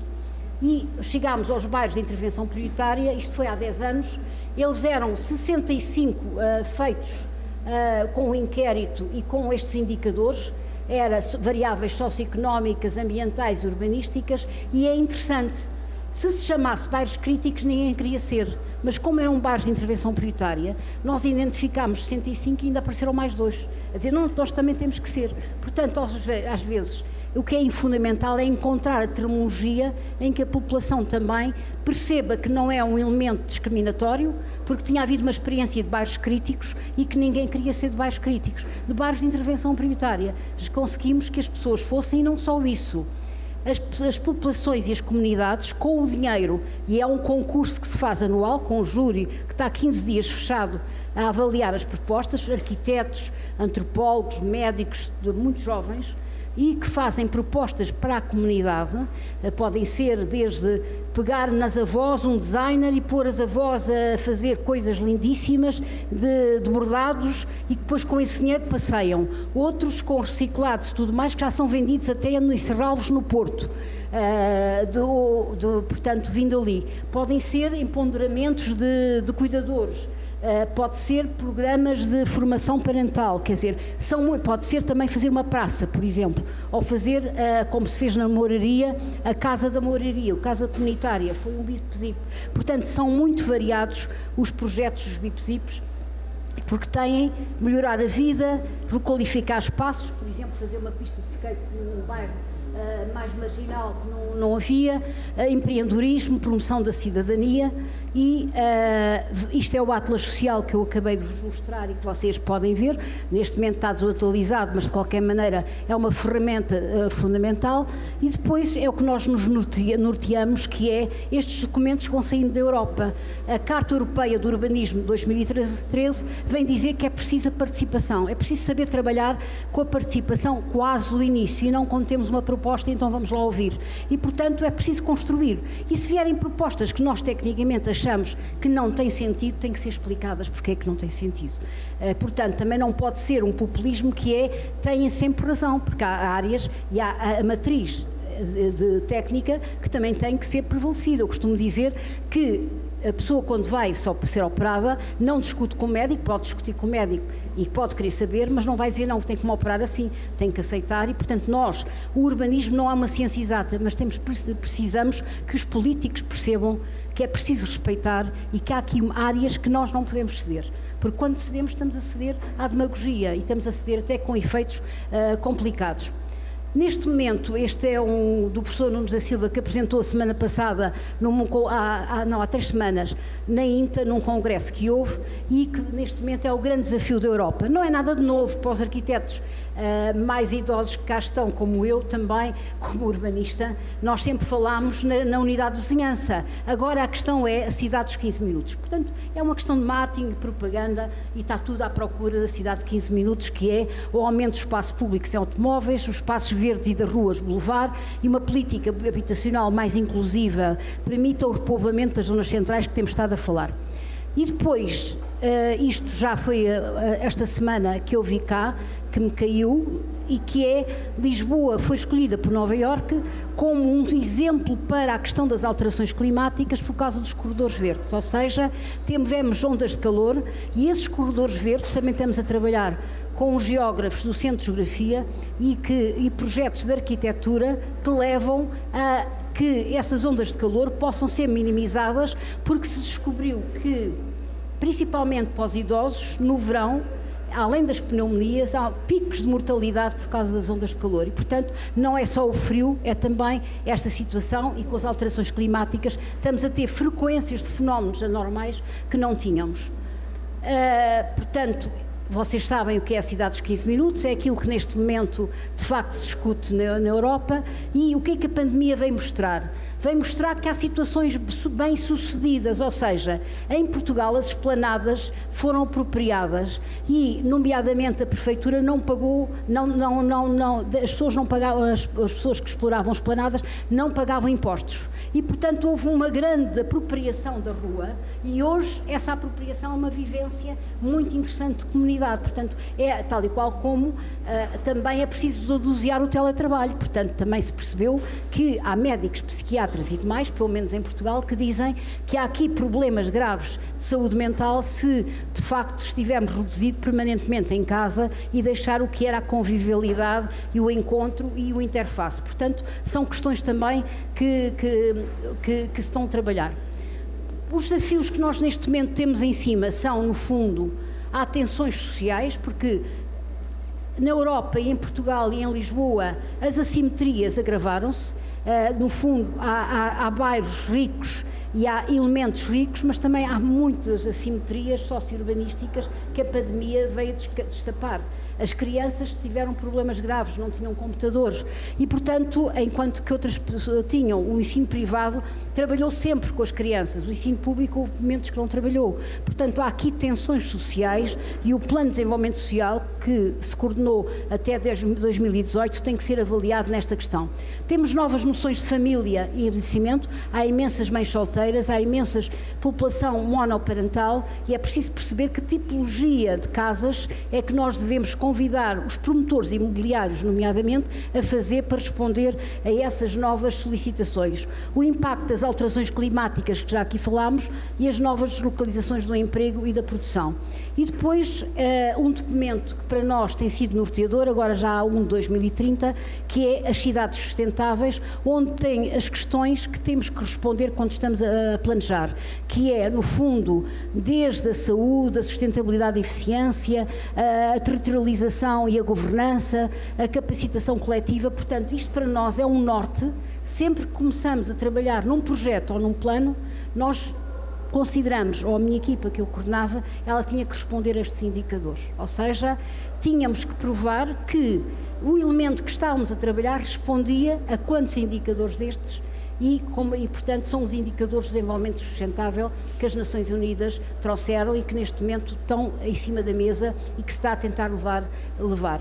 Pronto, eu acho que vos fiz um passeio, não, não passearam para a Zona Ribeirinha, mas quando lá forem eu não me importo vos levar e, e, vos mostrar, porque foi um projeto para mim muito interessante, que foi a negociação com o Porto de Lisboa na altura e que de facto uh, vê depois as docas a surgirem.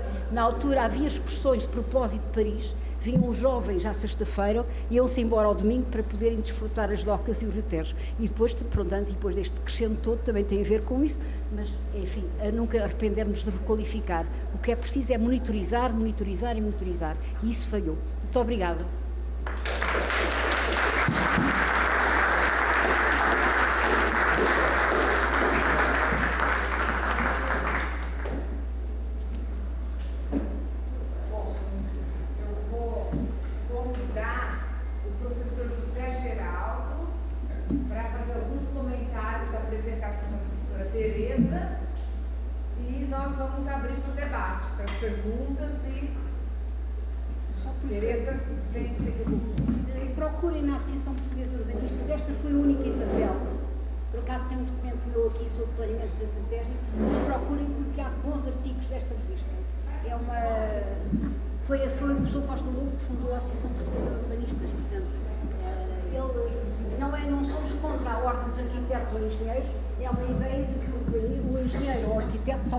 Não ser urbanista. Desculpem lá, esta era a posição que se tinha. Olá.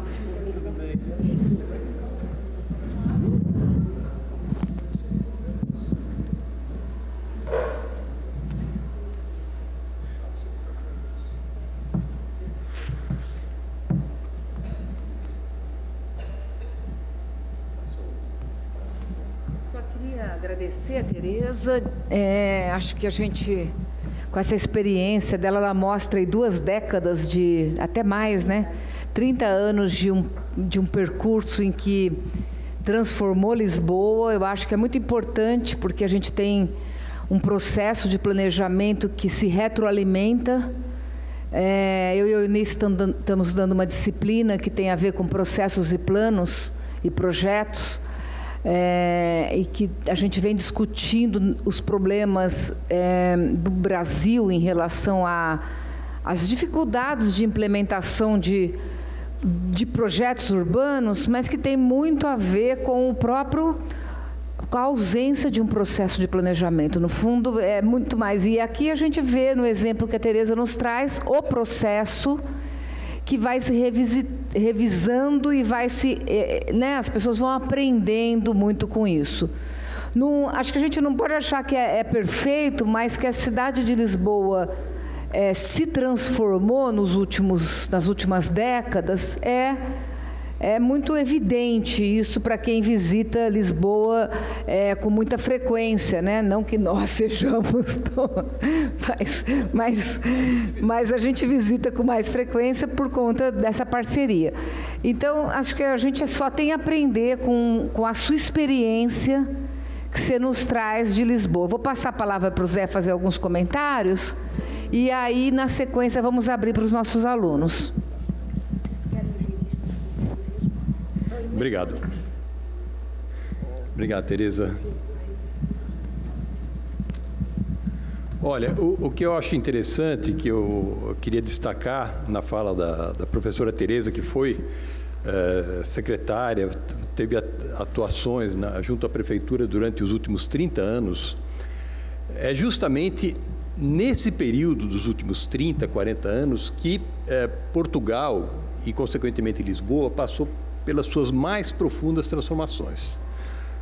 Por quê, basicamente? Porque Portugal se inseriu no, no contexto do, do, continente europeu, né? na União Europeia. Em 86, eu me lembro bem, até o Fernando me contava isso quando eu ia lá, é, que em 86, quando Portugal entrou para a comunidade europeia, imediatamente os preços das propriedades em Lisboa aumentaram 30%. Isso começou a gerar um, um fenômeno é, muito grande é, de, de, de, das pessoas não conseguirem mais pagar as locações, não conseguirem mais comprar as propriedades e elas começaram a migrar para municípios limítrofes da região metropolitana, sobretudo Oeiras, né, Cascais, é, Sintra, sobretudo Sintra, né, que virou quase que fosse um, um local assim meio como Guarulhos ou, Osasco, que são cidades é, que gravitam aqui em, torno da metrópole, mas que tem uma função ma mais de dormitório e é que acaba gerando esse fluxo pendular, né? Então, é, esses problemas é, que são exógenos a, Lisboa, eles passaram a acontecer com mais intensidade nos últimos 30 anos. Depois veio o euro, né? em 2002 também mudou a moeda local, que era o, o, escudo, né? e passou por euro outra desvalorização de mais 20%. Enfim, e mais recentemente, todo esse fenômeno da globalização do turismo, que Portugal foi eleito o melhor lugar para se viver na Europa, então vem os dinamarqueses, os escandinavos, todos comprando propriedades no centro histórico, lá na, no castelo, etc. E isso gera, um, esse fenômeno externo gera um impacto brutal na, no planejamento da cidade né, porque são fatores que, que não, não são muito ponderáveis, né, difíceis de controlar. Então, é, cada vez mais, Lisboa está se tornando uma cidade turística é, voltada ao setor de serviços.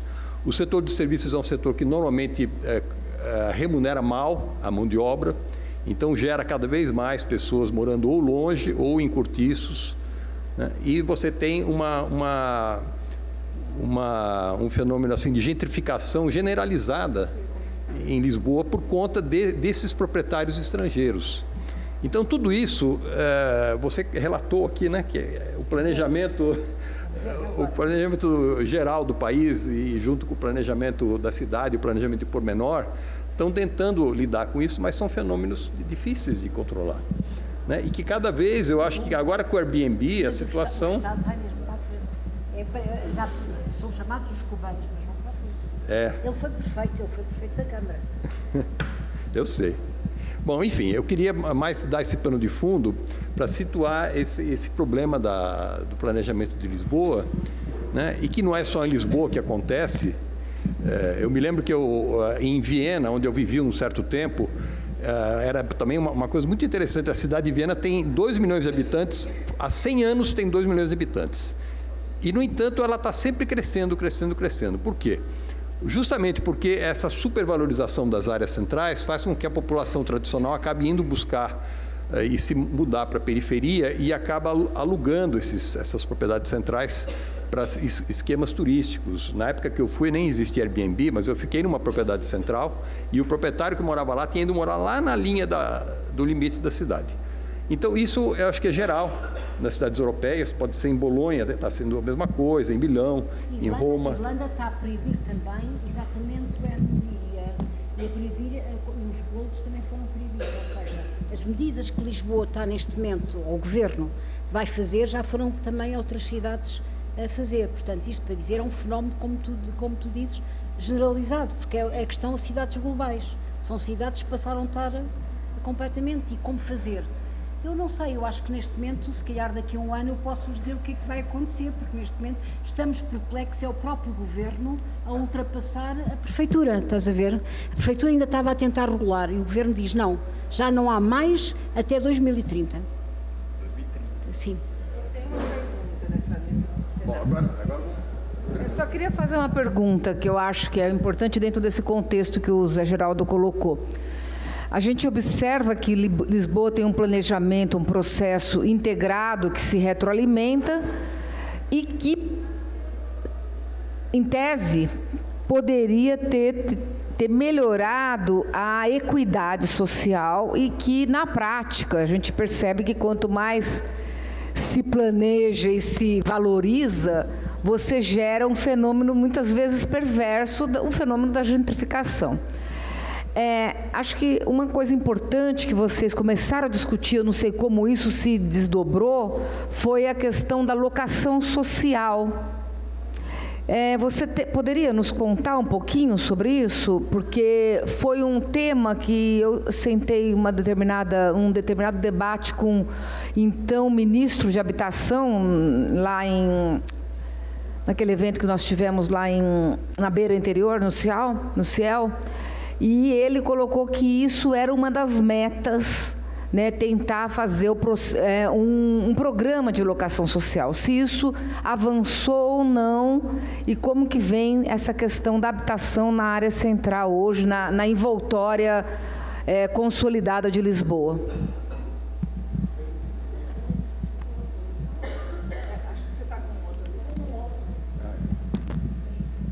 Houve, houve um momento importante para, para já, relativamente à Áustria, por exemplo, Portugal e Espanha, ao contrário da Áustria e dos nórdicos, a Áustria tem 30% de habitação pública. Nós temos, uh, Lisboa tem 5% de habitação pública. Também foi por causa da, primeira, da Segunda Guerra que a Áustria tiveram habitação pública, mas o que aconteceu foi que as políticas públicas uh, investiram muito mais em, em, arranjar os juros bonificados e ser proprietárias as pessoas do que fazer habitação pública.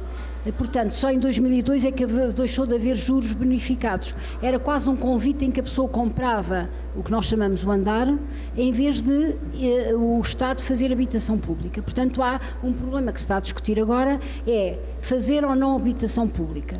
Mas depois vem dizer, mas vamos fazer habitação pública com tanto uh, alojamento que está vazio? São 40 mil que estão em Lisboa vazios.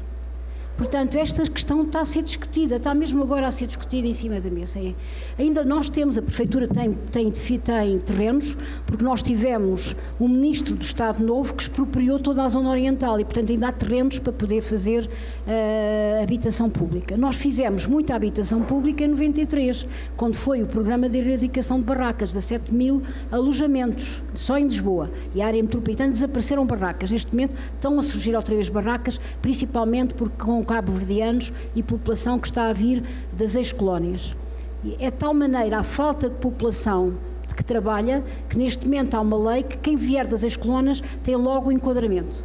Portanto, vêm porque é preciso mão de obra para o turismo, é preciso mão de obra para conduzir automóveis, por exemplo, autocarros.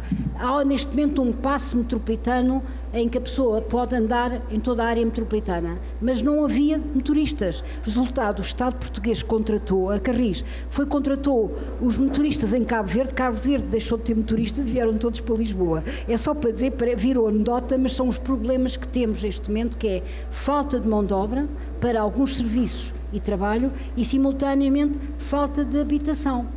Ora, aquilo que está em cima da mesa é discutido Lisboa é foi lançado há cerca de o último mandato, que depois a prefeitura que, uh, perdeu as eleições, o Partido Socialista uh, estava coligado uh, com independentes que eu fazia parte e também com, com, com, com outras forças políticas, perdeu as eleições e neste momento tinha um programa que era a renda acessível, que era Uh, e foi um programa trabalhado longamente por especialistas que era produziam habitação os, os privados com os, com os terrenos municipais e, e eram obrigados a pôr no mercado arrendamento, renda acessível.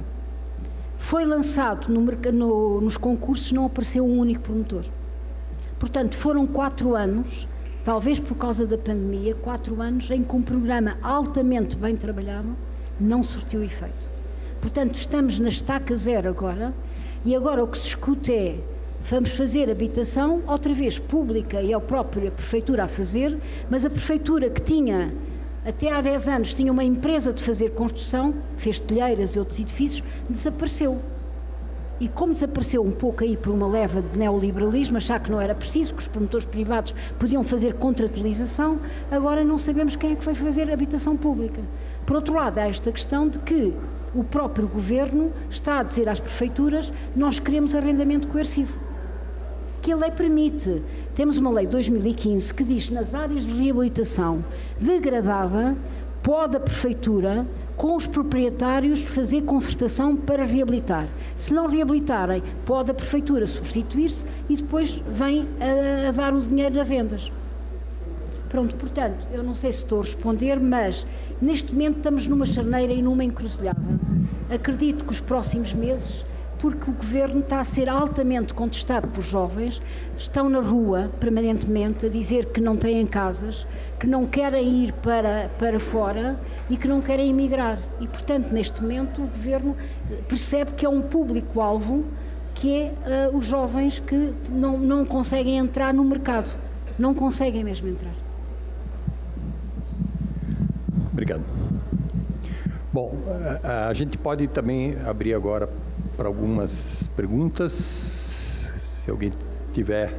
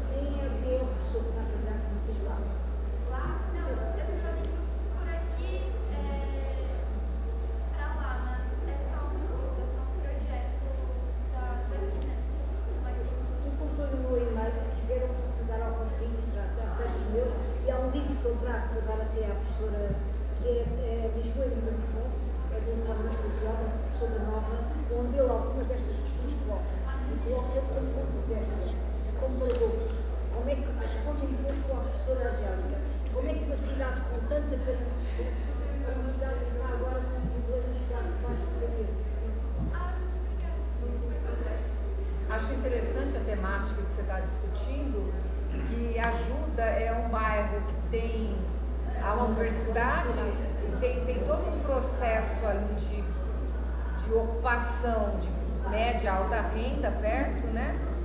Algumas questões dos, de patrimônio, mas ao mesmo tempo eu acho que é, uma, é um problema, né? Essa distância, esses deslocamentos, é, que o estudante, vocês, os estudantes, né? Eu, eu, eu fui para lá ficava perdido, para voltar para a cidade era um problema. E é um problema dos nossos centros universitários, né, distância. É aquele modelo dos anos 80, 70, 80, que joga a cidade universitária estudante, né? Eu posso lhe dizer, a pergunta que você colocava, a pergunta que você colocava é uma pergunta que é pertinente e que pode ser para vocês. Então, mas com tanto planejamento, com tantos planos e aconteceu isso. Mas não aconteceria bem pior se não houvesse. E quer dizer, também quero-vos deixar dizer, mesmo por mais que se planeje, há questões, como colocava aqui o professor José Geraldes, estamos a, a privados, à cidade global e, portanto, nem tudo se controla. Mas se tivesse havido a manutenção do Departamento de Planejamento Estratégico que desapareceu e houvesse ou encomenda às universidades para avaliar o que estava a acontecer, é evidente que se calhar em 2015 já se tinha referiado. Mas a questão da ajuda que está a colocar a professora é para dizer que é, o projeto não era esse. Eu até coordenei o projeto, não falo nele, porque tenho um grande desgosto. O projeto foi, era uma nova cidade e era para fazer habitação para estudantes, cooperativas, professores, e era, e era toda à volta, uh, o projeto era de um arquiteto, de um, de um, de um urbanista o Pedro Jorge e o Sidónio Pardal, e era um plano ótimo. Uh, e, portanto, e mais, na altura deliberadamente, até porque a Universidade, a Faculdade de Arquitetura estava no centro, não estava a ficar bloqueada no centro, era preciso ir, e foi deliberado, o prefeito com quem eu trabalhei, eu, eu coordenei esse projeto, era fazer toda a volta uma cidade até aberta 24 horas, ou seja, com fóruns para poder os jovens trabalhar, estudar e cooperativas com a empresa pública e com todo um arranjo paisagístico maravilhoso. Mudou um executivo e porque havia ali uma implicação com os arquitetos que tinham feito o plano, isso são outras histórias, e ficou só a universidade e não se fez outra parte. Portanto, a história da ajuda é uma história triste. Agora, o professor Costa Lobo trabalhou no plano de salvaguarda da ajuda em Belém, também enquadrou este plano e, portanto, há muito trabalho que eu posso lhe passar que, está, que ficou, na, ficou na gaveta, mas pensamento há. Portanto, é só para dizer que o plano, o plano era tão interessante que obrigava que a parte antiga tinha que ser reabilitada e a própria reitoria e instalações dos professores iam para a parte antiga para não ficar ali. Portanto, era um, diálogo entre parte nova e velha. Pronto, também há sempre experiências que depois não correm bem. Gente, é, outras questões aqui para a professora? Pois, lógico.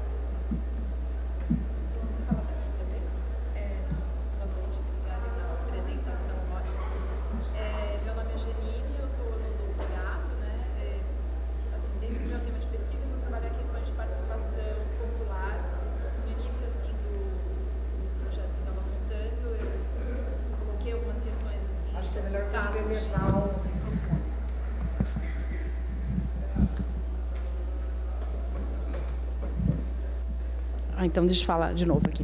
Então, o foco meu vai ser questão de participação popular. É, eu vou ter um olhar assim mais sobre algumas questões do patrimônio histórico, né?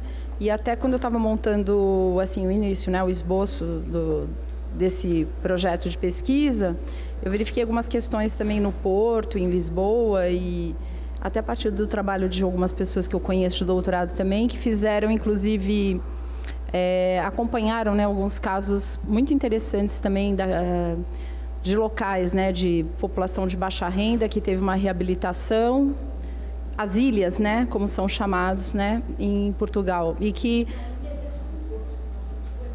É, está ok. Só em Porto que tem essa denominação, ok. E que justamente a população participa até da questão do projeto, né, da, da ambientação e do que vai ser modificado ali no, no local. E elas vão permanecer no, no local também. É, e aí você falou da participação popular que aconteceu nessa questão do, do, plano desse urbanismo ao longo de 20 anos, imagino. Né? Eu queria lhe perguntar se isso ocorreu, é, em, por exemplo, no caso de Lisboa, ocorreu em bairros essas, essas questões da participação popular. Elas eram organizadas a nível dos bairros ou mais num nível mais geral, mais central da cidade de Lisboa, assim, e, e se era motivado diretamente por qual órgão municipal, no caso, né? Se houve uma possibilidade de uma descentralização nesse projeto, nesse processo, né, de participação popular.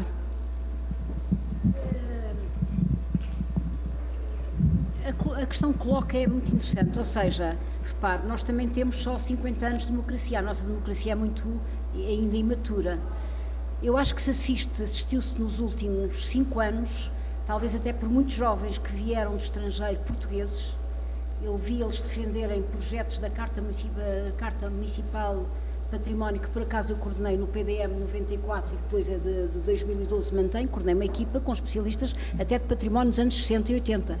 Considerou-se que já era património. Foi uma grande discussão, muito interessante, mas é, no fundo, património pode ser hoje. E, portanto, uh, que é um conceito que eu tinha tido um professor muito bom de História da Arte na Faculdade de Letras e tinha sempre essa ideia, que era, mesmo quando estou a construir, eu estou a construir já património no âmbito para o futuro, e, portanto, é património de hoje. E daí nós introduzimos o conceito na Carta Municipal do PDM 94, que era inventário, depois verteu para a carta, que agora a legislação é carta, temos edifícios inventariados dos anos 80 e 90, mesmo polémicos, como por exemplo as Amoreiras, porque consideramos que é uma arquitetura que, no fundo, representa. Isto para dizer, esta questão de património eh, é uma matéria que está vertida no PDM, dos edifícios com vários conjuntos singulares, eh, tudo mais, com toda uma tipologia que a legislação de património também foi evoluindo. Primeiro era inventário e agora é carta municipal obrigação, obrigatório. Todos os PDMs têm que ter a carta municipal de património não como a outra era bastante bem feita, manteve-se, mas agora estão a ser reavaliados os edifícios agora, mas já estão a ser reavaliados há dois ou três anos. Uh, o que me está a perguntar é assim, se eu nos anos 90, quando coordenei planos e projetos, é evidente que naquela altura, com exceção de algumas mobilizações de população que houve, nós fazíamos os planos a meio, discutíamos nas, nos distritos com a população e depois introduzíamos. Os últimos anos permitem já uma maturidade em que as próprias populações vêm com imensas petições e solicitações. Os últimos cinco anos, quando eu estava na, na, na, na Assembleia Municipal, foi com um agrado imenso, em que eram mil, dois mil, três mil, uns jovens a defender edifícios emparedados. Um que estava nos Estados Unidos, a dizer que se fosse lá não fazia, e conseguiu defender. E aquilo ia ser demolido na, ali na avenida. Eu acho que já teve um incêndio, mas pronto, mas está lá. Portanto, isto para dizer que está a ser crescente esta exigência de cidadania, que por acaso esse livro que eu falei, ele fala disso, fala da civitas, fala de que neste momento há um amadurecimento e são os setores mais jovens, por exemplo, na construção uh, desenfreada do turismo, apareceram alguns edifícios na zona do Castelo a tapar aquilo que é o nosso paradigma de cidade de colinas, que é as encostas e as encostas.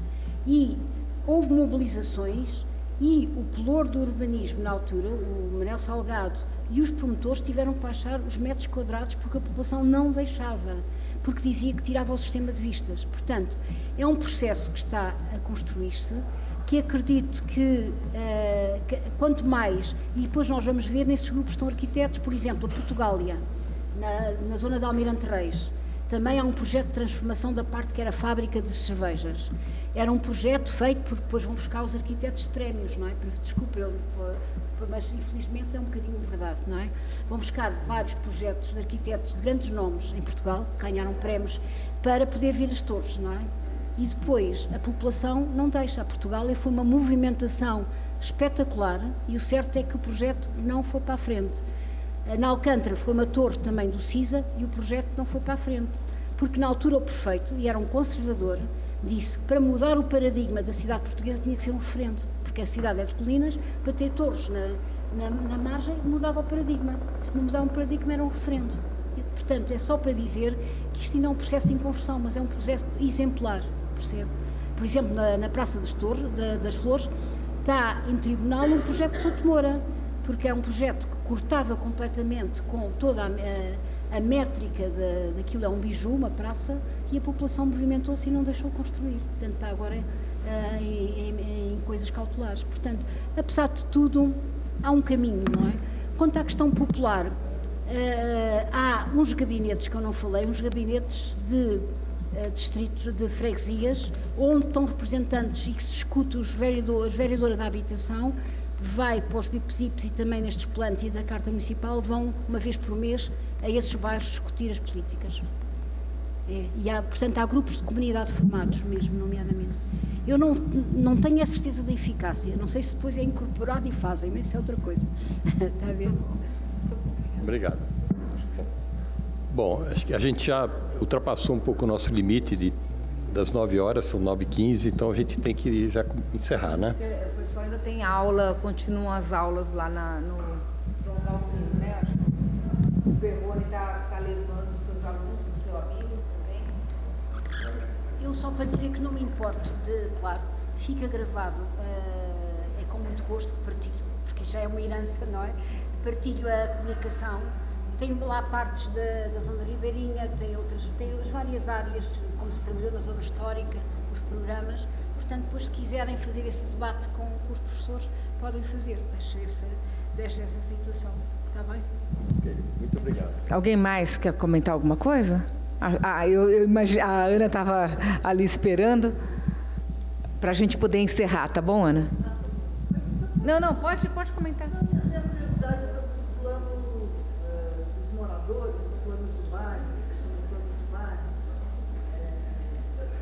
vocês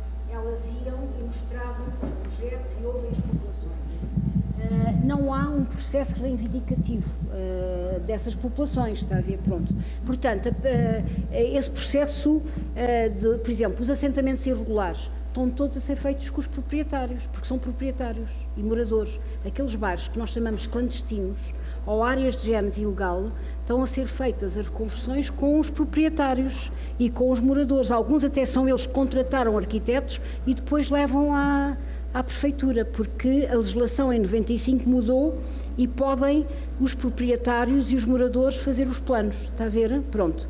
Uh, no fundo, eu, eu, há esses bairros, há esses grupos de comunidade que depois incorporam. Uh, relativamente aos bairros de intervenção prioritária, eu acho que vão, neste momento, vai haver uma transformação grande, porque vão se introduzir melhoramentos definitivos para deixar de ser bares de intervenção prioritária, mas também posso dizer, eu podia dar uma aula das coisas que eu não consegui ou que não conseguimos como equipa, desde a ajuda e outros mais, não é? Que até foi aprovado, mas depois uh, houve mudanças de executivo. Uh, eu, por exemplo, advogava uma coisa que eu vi em Sevilha, que vale a pena procurarem, que é um projeto maravilhoso sobre bairros, em que, de uma forma expedita, e o professor Costa Lobo era-lhe muito caro os planos expeditos, para os bairros, que é um inquérito sumário, percebermos onde é que as pessoas uh, não se querem se sentar e não têm um banquinho, onde é que as pessoas se encontram a falar, se pode uma praçazinha as crianças. Eu, eu tinha uma ficha dessas e nunca consegui que os políticos quisessem dar esse aval, porque depois quero ouvir ao compromisso ter que fazer as medidas, está a ver?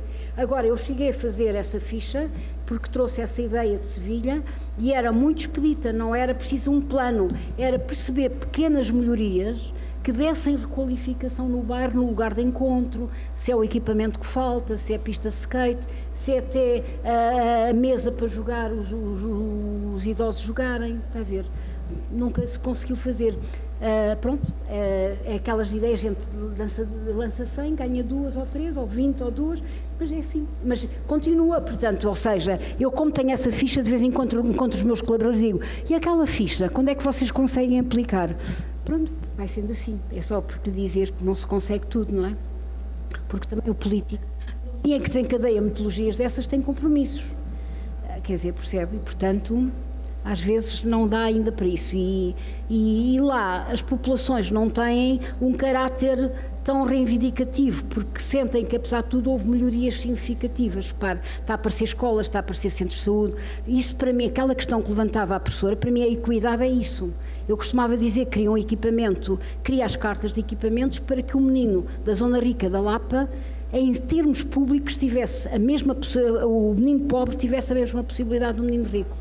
Agora, por exemplo, nós fizemos um projeto muito interessante que foi verificámos zonas do ensino secundário que não havia escolas e eram zonas pobres. Mas não fizemos a escola. Encontramos os ónibus, os alfacinhas e levamos essa população para outras escolas onde tem lugares a mais e misturamos os meninos pobres com os meninos mais ricos e criámos esse, esse projeto deliberadamente. Ou seja, dissemos não queremos guetos, não queremos a Zona Oriental só com escolas secundárias para os meninos da Zona Oriental.